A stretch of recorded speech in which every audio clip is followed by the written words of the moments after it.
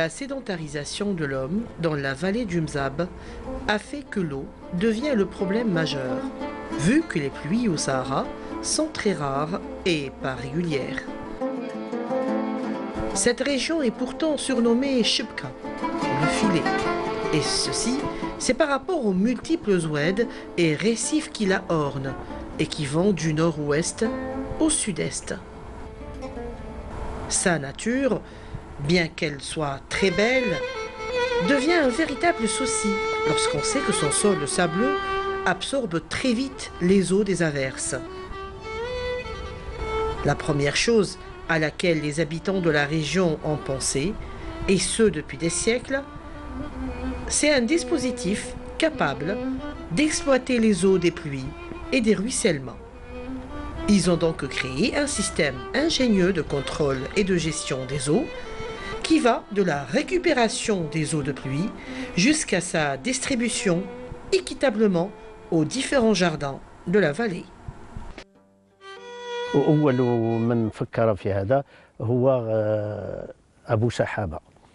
Le premier à avoir eu cette idée est Boushaba. C'est grâce à lui que ce système existe.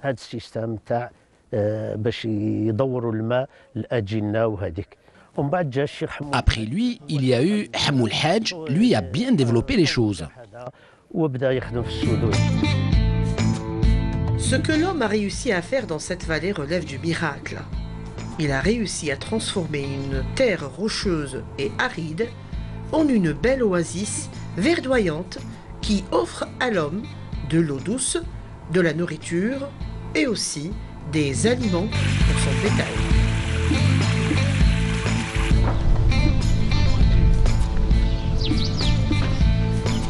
تقسيم المياه في مدن ميزاب هذه الخبرة التي اكتسبت طيلة عشرة قرون فأجدادنا في وادي ميزاب كان همهم الكبير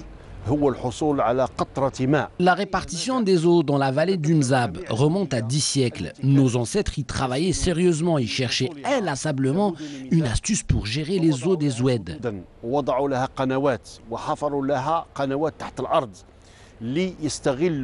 جميع الأودية أو جميع المياه التي تسير في هذه الأودية من واد الأبيض واد العذيرة واد أزويل Ici, nous avons beaucoup d'oued. Oued Labid, Oued Rdir, Ezouil, Tarzouz. تستقبل وتستغل وتوزع مياهها بطريقة دقيقة جدا جدا Ils sont même arrivés à contrôler et aussi à partager cette eau d'une façon précise et équitable. Chacun recevait de l'eau selon la superficie de son jardin ou le nombre de ses palmiers. بنية تحتية داخل هذه الواحات مشكلة من عدة عناصر التي تستجيب لكل لكل وظيفة لحالها Il s'agit de tout un système. C'est assez complexe. L'eau ici, c'est très précieux parce qu'elle est rare.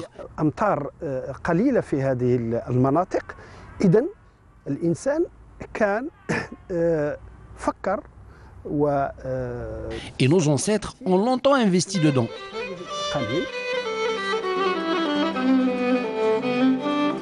Avec un ingénieux procédé que l'homme de la vallée du Mzab a réussi à polariser les eaux de pluie et des ruissellements. Cela relevait de sa propre survie. De multiples retenues existent dans la région. Elles jouent le rôle de réservoir et donnent à la terre le temps nécessaire pour absorber cette eau qui ira alimenter les puits.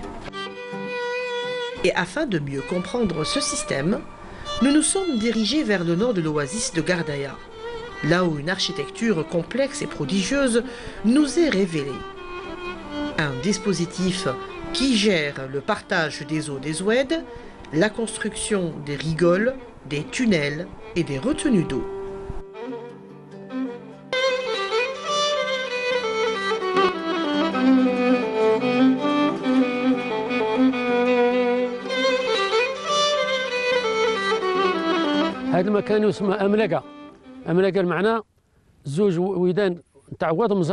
Nous sommes ici à Mlaga. C'est là où se rencontrent deux Oued, Oued Mzab et Oued Rdir. Il y a beaucoup de oueds dans la région.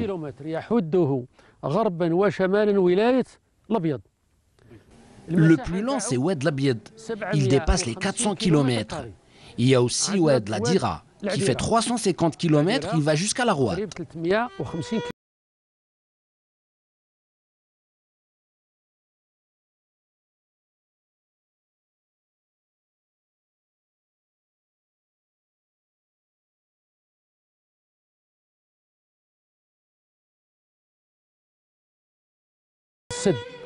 Sur ce dernier, il existe comme un ralentisseur d'eau. C'est en fait pour que l'eau ne déborde pas. Il y a même un vide-fond. ان فيد فون معناه كي يوصل لما تم راه يخرج ما يقعدش والفائده الاخرى باش ما يربيش تراب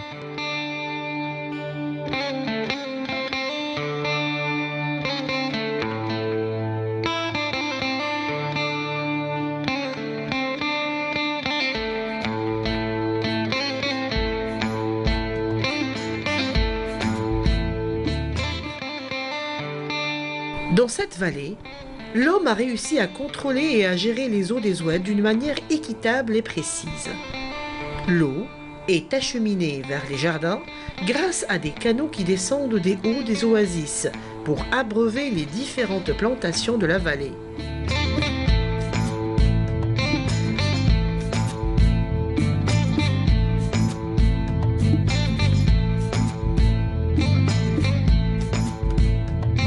Le dispositif, aussi original qu'il soit, est en réalité élaboré avec des matériaux de la région, comme ces pierres grandes et plates, ainsi que de la chaux.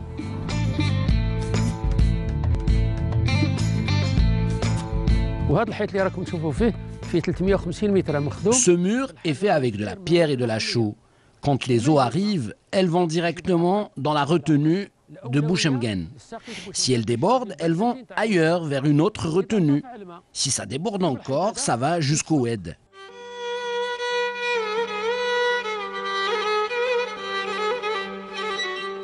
Il y a des gens qui contrôlent ceci, les humains.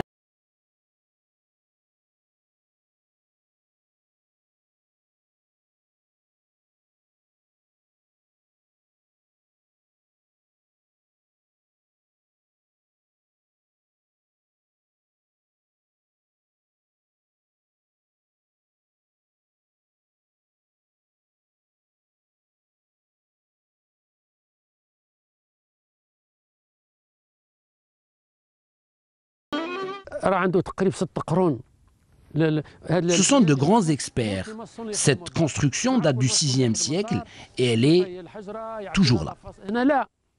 هنا الناس مختصين. كل حجره بالاسم نتاعها.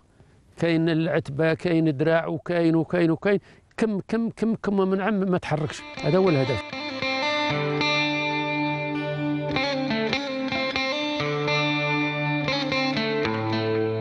L'eau des oueds arrive donc d'une façon presque automatique jusqu'à destination. Et ceux-ci sont toutefois abîmés les jardins qu'elles traversent grâce à des canaux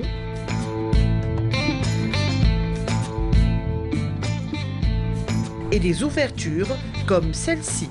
Ici, nous comptons 25 ouvertures à travers lesquelles l'eau passe pour trouver son chemin vers les oasis.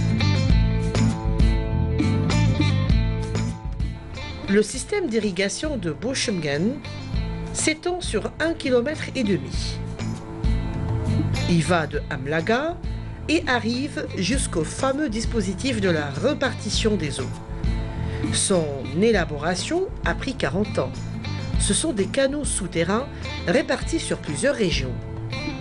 Il s'agit en vérité de multiples cavités souterraines soutenues par des plaques rocheuses qui garantissent la coulée des eaux d'une façon fluide afin qu'elles soient départagées entre les jardins.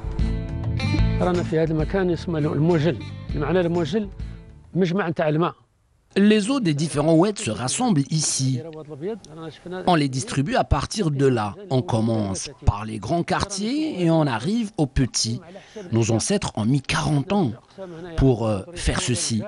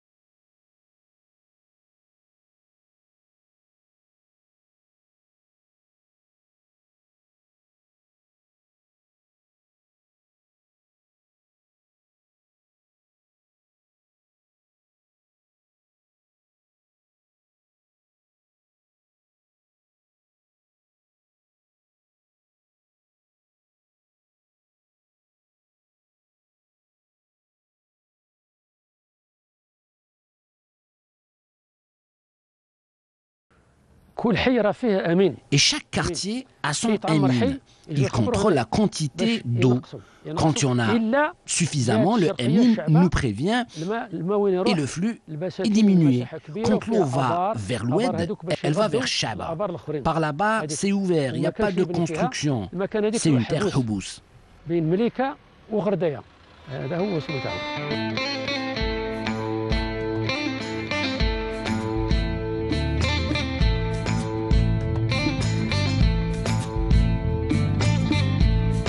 Par-dessus cette construction et ces tunnels, des tonnes de terre et des trous reliés à des canaux souterrains. On les appelle Afournaoun.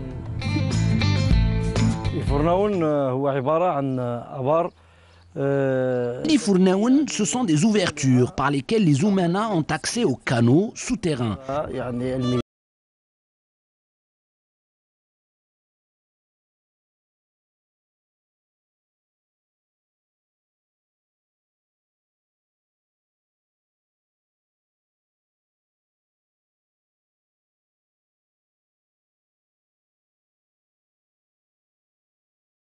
Que les canaux sont nettoyés, le niveau de l'eau est contrôlé, il existe bien sûr un travail de maintenance pour que l'eau arrive propre jusqu'au jardin.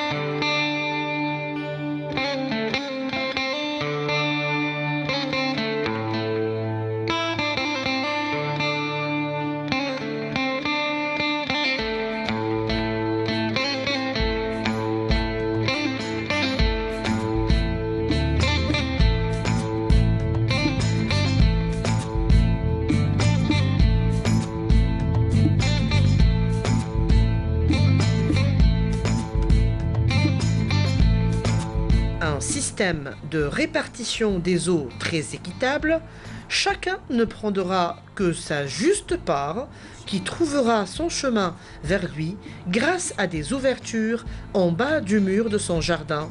L'eau coulera alors pour l'irrigation.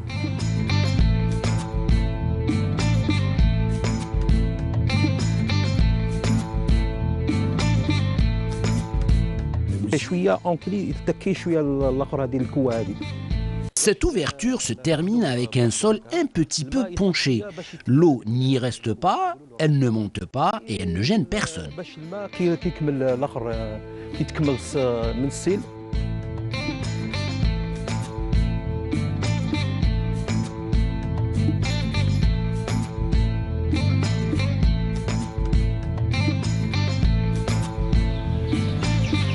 Les ruelles de Gardaïa et ses passages sont recouverts harmonieusement d'une couche de pierre lisse afin que l'eau coule sans laisser de trous et que les citoyens ainsi que les moyens de transport puissent facilement se déplacer.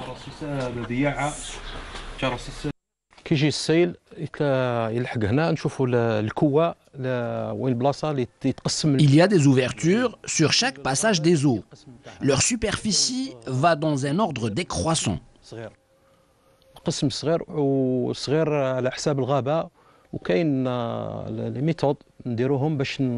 Celle qu'on voit ici est grande. Mais sur le chemin, l'eau finira par passer à travers des ouvertures qui ne dépassent pas la taille d'un noyau de date. جاي الآخر تاعو القسط تاعو المام الآخر ويجي المام الكاليبر يستعملوهم بكري ويعطوا لهم على حساب المساحة تاع الآخر وعلى حساب النخل يعطوا لهم القسط تاعهم. Et puis, c'est la superficie de l'oasis qui détermine la quantité de l'eau. تدي تدي بزاف زيد تقسم. تقسم الكوة زيد تقسم كوة والبلاصة لبلاصة.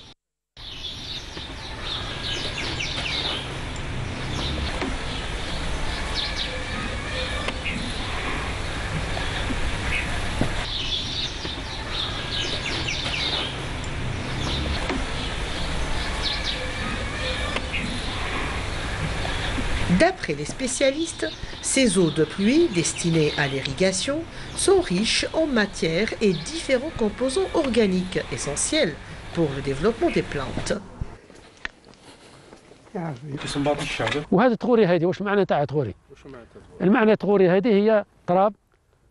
Qu'est-ce que Trouri C'est la substance que ramène l'eau تلقاها تعاود الكل. لو طوري اي سان يا با دو برودوي شيميك دودون سيتو برودوي شيميك الأرض ما تعياش فيكو لا تير سو ريجينير ايكو نو ليجيم سون ديليسيو وتعطيها منفعه أنا نعقل وقت فرنسا طيارة غردايه باريس تدي منا الخضرة la حلوة أكثر وفيها منفعة أكثر nos لي كالوري أكثر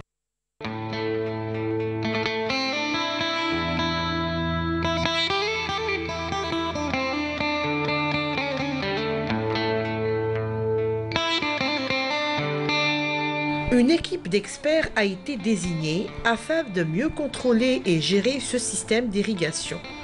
Ce sont des Oumana qui relèvent de la mosquée. On les appelle Emsourda. Ils sont là pour nettoyer les rigoles, les canaux.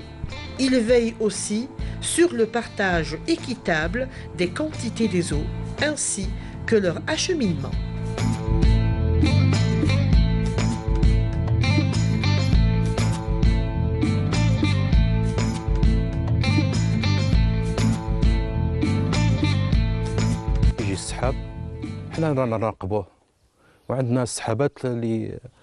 Nous, nous surveillons les nuages. On les connaît. Il y a celui qu'on appelle le mazouz ou bouhrara. كاين مع بهراوه وكاينين وجا هادو الاربعه الاخرين ولا سيرتو معزوز وتوريرين من جهه اللي يجيو من الغرب كيجيو طالعين نعسو نشوف نتبعوهم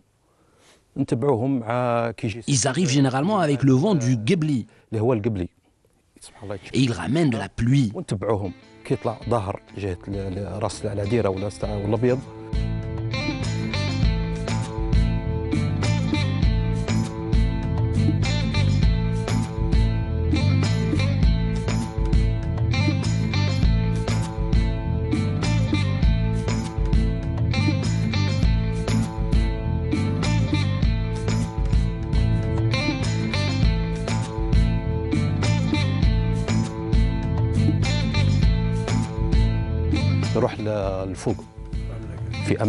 Parmi les Oumama, il y a ceux qui partent jusqu'à Amlaga, d'autres restent ici. Le baroud est notre signal.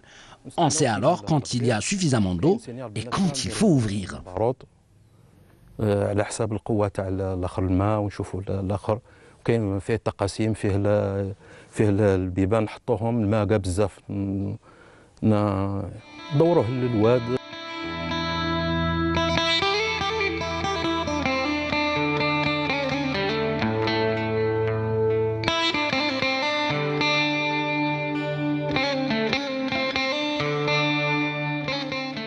Parce que les anciens veillaient à ce que toute goutte d'eau qui tombait du ciel devait être récupérée, ils ont construit tout autour de la ville, sur les monticules, sur les lieux de prière et pas très loin des cimetières, des bassins.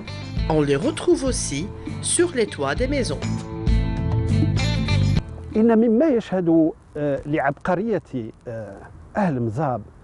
Nous voyons ici comment nos ancêtres étaient ingénieux. Ici, c'est un lieu de prière. Au bout, il y a un palmier qui indique la Qibla. Et à côté, c'est l'endroit des funérailles.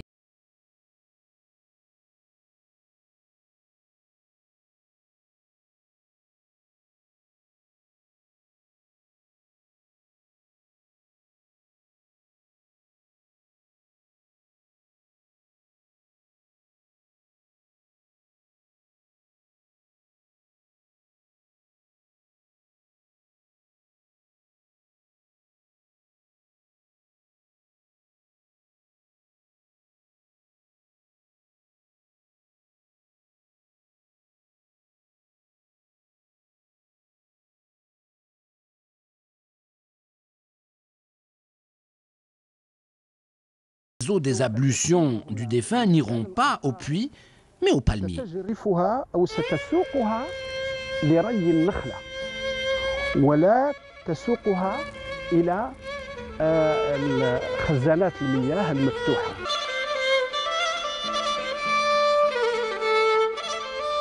Les palmeraies de la région sont généralement irriguées par les eaux tirées d'un puits à l'aide d'un dromadaire ou d'un âne qui tire une corde liée à un système de poulies. Et puis un seau.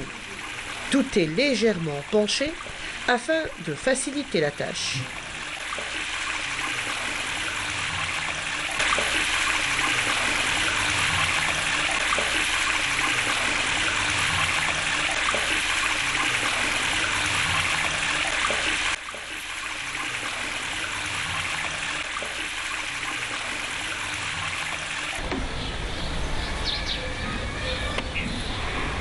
Ce concept d'irrigation traditionnelle a pendant des siècles répondu aux besoins de la population du désert. Il a même réussi à transformer le Sahara en un vrai paradis. Il a aussi contribué au développement durable de la région. C'est avec une très grande volonté que les habitants du Mzab ont réussi à creuser dans leur oasis plus de 4000 puits, d'une profondeur qui varie entre 25 et 80 mètres. Ils ont aussi planté plus de 200 000 palmiers et arbres fruitiers. Nous parlons ici d'un système qui remonte au XIe siècle et qui est toujours d'actualité. Il est même de nos jours en usage.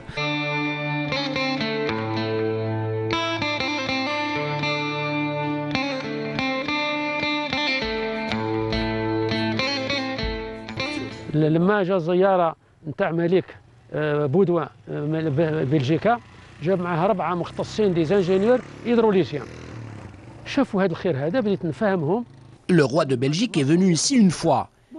Il a été agréablement surpris par l'ingéniosité de ce système. Il a visité les voûtes souterraines. Il y avait un groupe d'experts avec lui. Ils ont trouvé cela exceptionnel.